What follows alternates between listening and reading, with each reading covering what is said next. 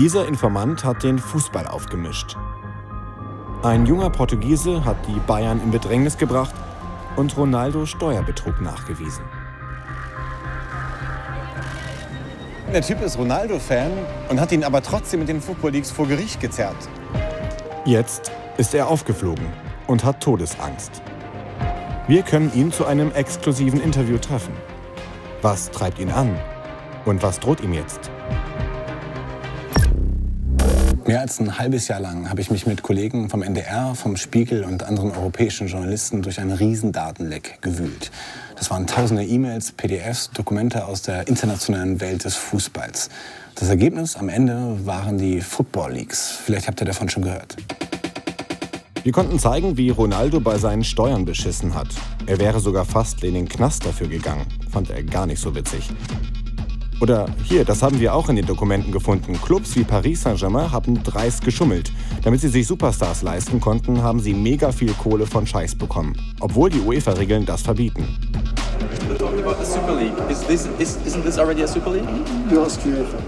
Auch die Bayern haben wir in den Daten gefunden. Sie planten ganz heimlich eine elitäre private Superliga zu gründen. Fanden die Fans gar nicht so geil.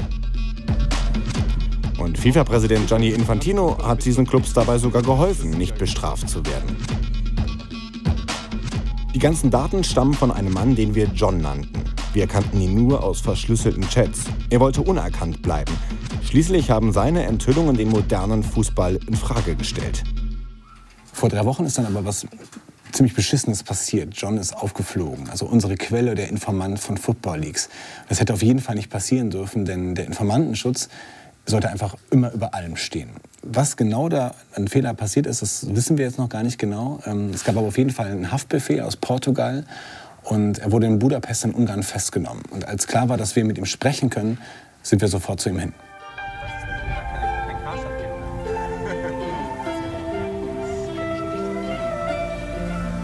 Es sieht schon schön aus. Nice, ich gehe davon aus. Henning, wir sind gerade in Budapest. Sag mal, warum?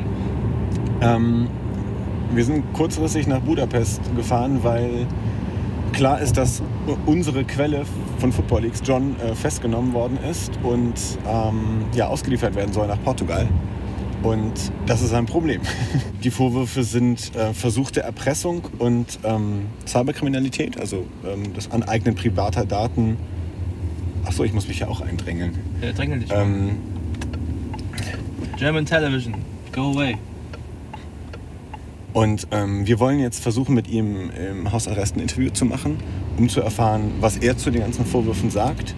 Ähm, ja, vielleicht erfahren wir heute Nachmittag mehr.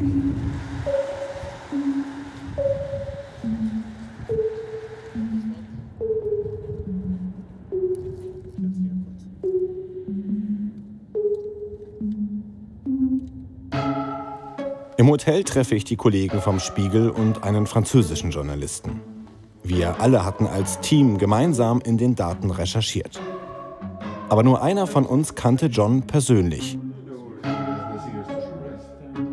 Und das war er hier, Raphael Buschmann. Raphael hat ihn regelmäßig besucht. Dass nur er ihn kannte, hat John auch geschützt. Ah, aua.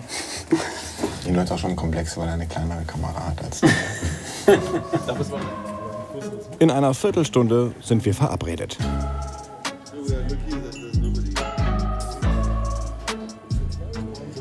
Also ich bin super neugierig, erstmal, was für ein Typ das ist, wie der tickt, ähm, warum er das macht, warum er bereit ist, sein ganzes Leben äh, zu, ja, davon dominieren zu lassen und jetzt auch persönliche Konsequenzen ähm, ja, durchzustehen. So. Ähm, bin sehr gespannt darauf, ähm, auf seine Motivation darüber mehr zu erfahren ähm, und auch wie, wie er jetzt auf uns reagiert. Das ist erstmal meine erste Sorge so. Ähm, da bin ich erstmal gespannt, weil ich wäre auf jeden Fall mega überfordert, wenn so viele Leute auf einmal bei mir in der Bude sitzen und Fragen stellen. Im portugiesischen TV wurde der Informant schon reißerisch als Hacker verurteilt und belagert. Das alles hat ihn ziemlich nervös gemacht. Auch die Polizei war immer wieder vor der Tür, um ihn aufzuhalten, falls er versucht zu flüchten. Jetzt sind wir hier und sind die ersten, die ihn exklusiv interviewen können. Sobald die Luft rein ist. Äh, wir warten jetzt einmal mit der Kamera und sowas Unauffälligen wie dem Stativ hier, ob die Lage äh, vor der Wohnung gut aussieht. Deswegen bleiben wir hier an der Ecke stehen und die anderen gehen schon mal vor.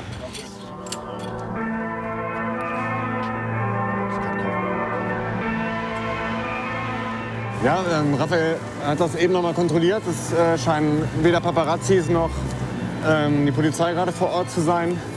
Deswegen trauen wir uns jetzt hier so leicht versetzt ähm, dahin zu gehen. Werden aber äh, natürlich reagieren, wenn, wenn Raphael ein Zeichen gibt und merkt, dass da jemand ist.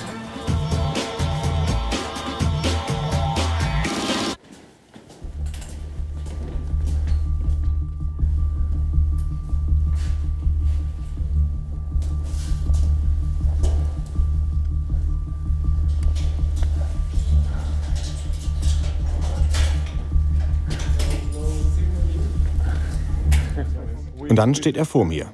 John, die Quelle von Football Leagues. Eigentlich heißt er Rui Pinto, ist 30 Jahre alt und kommt aus Portugal und hat in Budapest Geschichte studiert.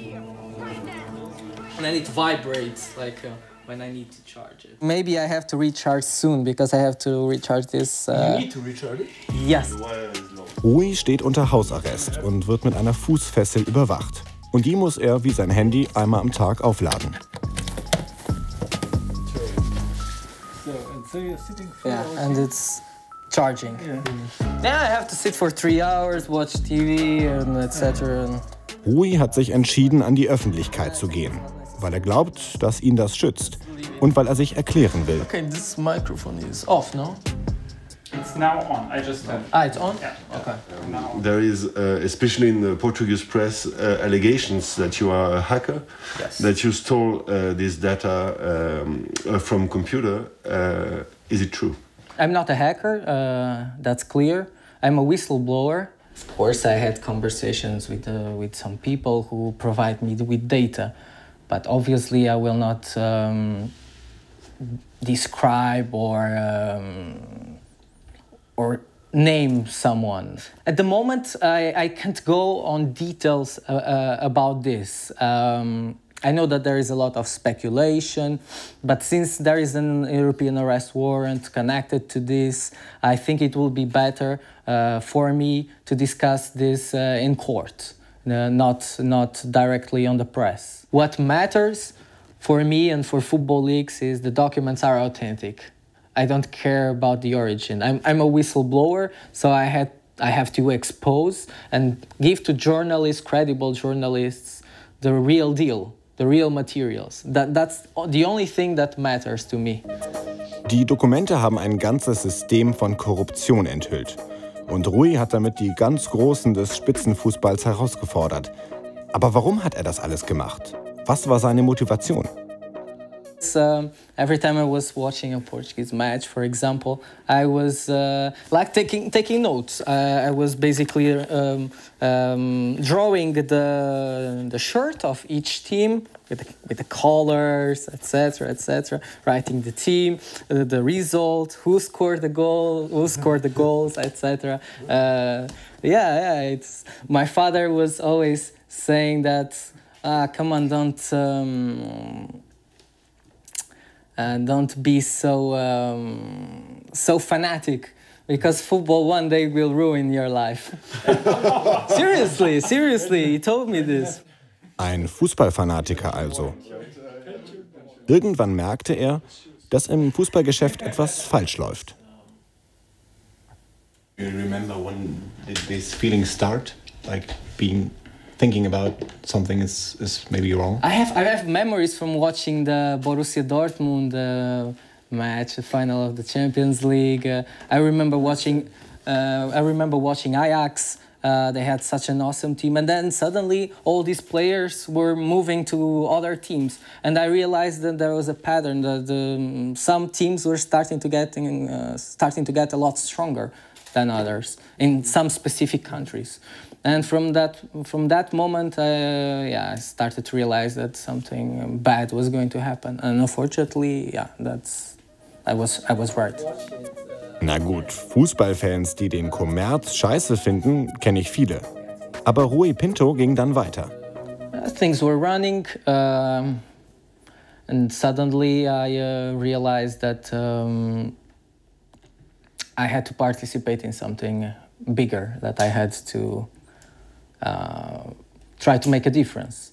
Um, fortunately, I had the chance um, to gather a quantity of documents um, re- related to football. Um, and, and things, things started uh, so smoothly, and I was basically surprised about, um, about how confident the football world was and, uh, and how easy it was to, to get um, my hands on this kind of, of documents. Well, the next steps were to, um, um, to try to expose what was wrong. Since, um since Football League started, the aim was to um, basically show the raw contents, not to uh, um, just uh, mm, just show what mattered for some people. I wanted to show what mattered for everyone.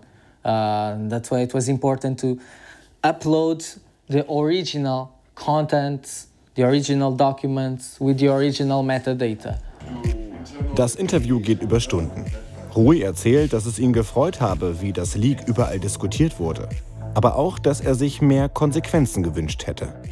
The second uh, or the last football leagues um, um, impact or um, publishing, you you you living here or you you already live yes, here? yes, yes, I was here. But when when uh, when the stories uh, suddenly uh, appeared on the press, I wasn't here. I was on a weekend in uh, in uh, in, Pol- in Poland. It was like a, a, a vodka weekend. Yes, with some friends, we went on a road trip. So I was basically uh, preparing for for the party together with my friends and the vodka, and I was following uh, the news on my phone. Being It drunk. Yeah, it was such a good feeling. What, what, what are you feeling when you're looking down to your feet, like having this electronic device? Um, this is just a device, and for me, it doesn't matter. Um, I did what I did. Um, I th- I'm, I'm sure that um, it was the right decision. So Are you proud of your decision? What do you? I'm proud of myself because uh, I was brave enough to face this football industry, to face a kind of mafia. Um, yes, yes, yes. Is your girlfriend proud of you too? Yes, she is. Okay. Wow. So it's full, uh, full of old, old German uh, Recipes. recipes. Yes. Auf einmal zeigt er uns eine Sammlung alter Bücher. Ein wichtiges Detail, denn immer wieder gab es Vorwürfe, er hätte mit den Football Leagues Geld verdienen wollen. Er sagt, er habe nie Geld für Informationen bekommen. Auch von uns gab es selbstverständlich nie Geld für die Football Leagues.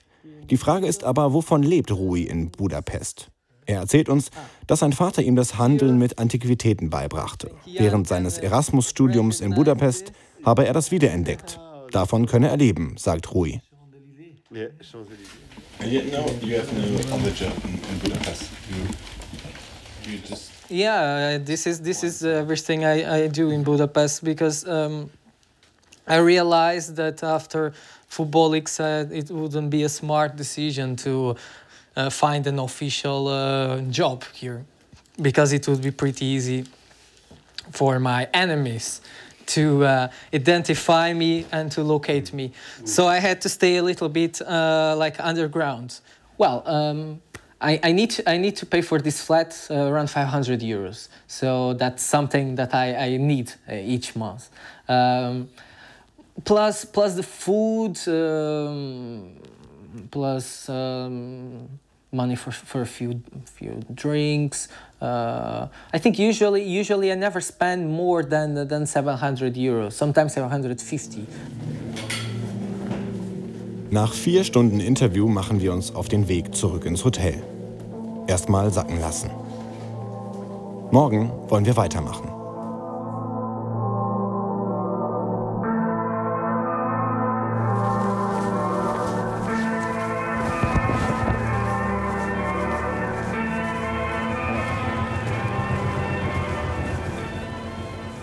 Also es ist auf jeden Fall faszinierend. Ich glaube, ein sehr intelligenter Mann, der ähm, sich sehr viel selber beigebracht hat ähm, und ja einfach nicht aufhören konnte. Also es gibt so eine lustige Parallele zwischen seiner Grundschulzeit, wo er einfach immer so als ADHS-Kind, so hat er sich beschrieben, stören musste und dann einfach nicht aufhören konnte, wenn er irgendwas angefangen hat.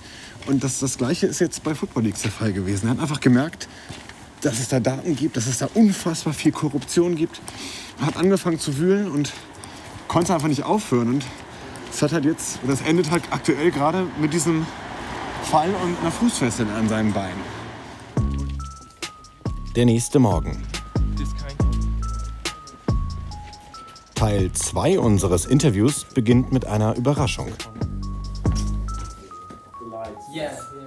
I'm I'm um, I'm a big fan of Cristiano Ronaldo. He's um, my favorite football player.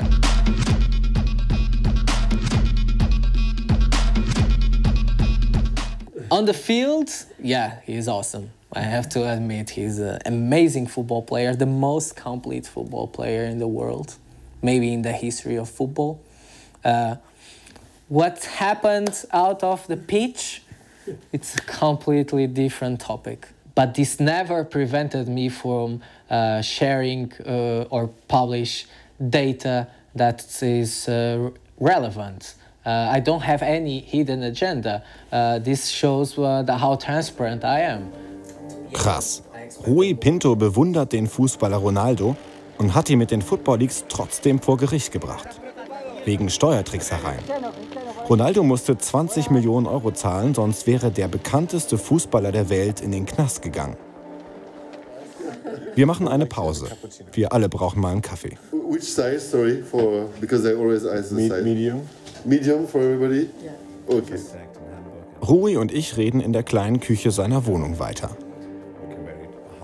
My, my question is you for three years more or less you you hide you you weren't able to to talk with your parents or your girlfriend um, freely who you are what you're doing what was your what was the what was three years your feeling about it can you describe it I, I don't even know how to I don't even know how to do to describe this. Um, I had like mixed feelings. Um, it was tough time, a tough situation because I couldn't I couldn't be uh, clear with them. Um, I, I, can't say that I lied to them. Uh, I just I just uh, hide. Uh, I, I, I try to hide some things um, because it wasn't the right timing, and um, and I, I wanted to protect them. I, but I tried to live my life normally. Uh, was meeting with my friends. Um, uh, was going out uh, frequently. Going to parties. Uh, uh, occasionally or, occasional dinners uh, with friends or with my girlfriend. So I was basically trying to live like nothing, nothing was going on. Uh, like the life was good and everything was under control, but the reality it wasn't like this. Um, uh, I I always had to be uh, careful because um, I had no idea if I, I was being followed uh, or, or something. Drei Jahre arbeitete er an den Football Leagues. Im Zentrum eines Netzwerks. Die portugiesischen Behörden müssen ihn schon eine Weile auf dem Schirm gehabt haben. Warum wollten sie ihn dann ausgerechnet jetzt festnehmen? Rui hat da seine Vermutung.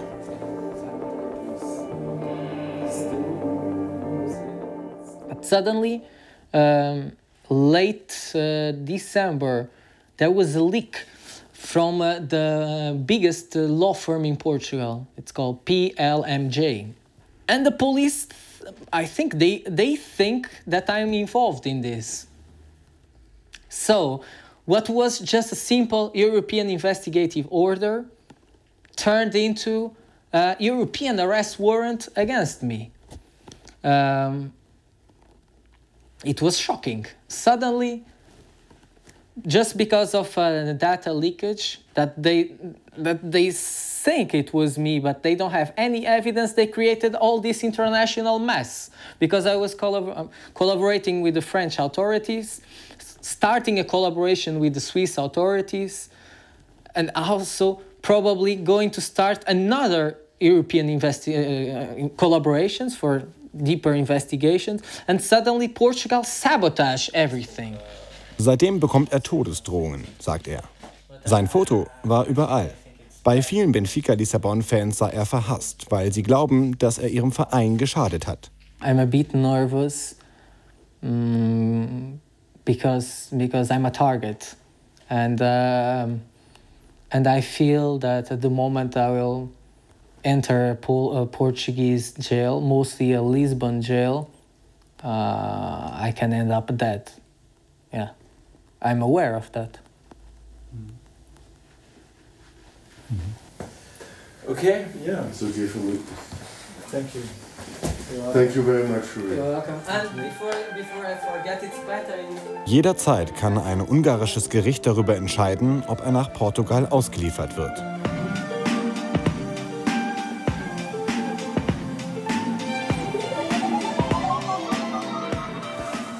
And yeah, hopefully we can see us again Of somewhere. course, of course, Hopefully not in Portugal. And hopefully not in prison. Yeah. Good luck. Nice to meet you. nice to meet you. Thank you very much. Nach zehn Stunden bei unserem Informanten haben wir alle unsere Fragen gestellt. Rui Pinto hat meinen Respekt. Um zu zeigen, wie dreckig das Fußballgeschäft ist, hat er einen hohen Preis bezahlt. Aber hat es sich gelohnt? Ich bin echt gespannt, was, was seine, seine Zukunft jetzt bringt. Also hier unten wird auch, hier unten ist seine Wohnung, aber hier unten sitzt auch irgendwo äh, das ungarische Gericht, was darüber entscheiden wird, ob er ausgeliefert wird nach Portugal. Das äh, möchte er auf jeden Fall verhindern, weil er Angst hat, dass es keinen fairen Prozess für ihn in Portugal gibt. Ja, in der Vergangenheit war es oft so, dass äh, ein Whistleblower aus einem Unternehmen heraus oder aus einem, ja, einer Institution heraus Daten ähm, genommen hat und gesagt hat, so, ich muss jetzt das an die Öffentlichkeit bringen, das, das ist so wichtig, das sind so große Verstöße. Bei Rui war es anders und deswegen ist es eine interessante Frage, ob er auch ein, ein genau solcher Whistleblower ist. Er hat ja im Endeffekt ist ja kein Teil vom Fußballbusiness gewesen, hat aber trotzdem Zugang dazu bekommen und diese Daten sammeln können.